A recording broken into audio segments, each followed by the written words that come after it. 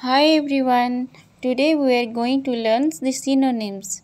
Synonyms are also known as similar word.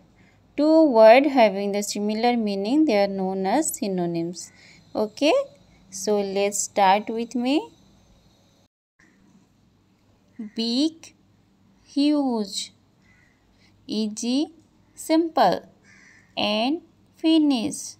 Ask question.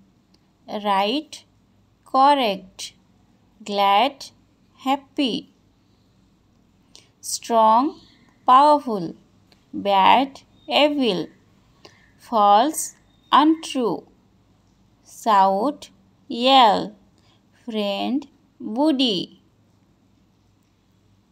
give, offer, cry, sob, smart, clever, cold, chill woman, lady, help, assist.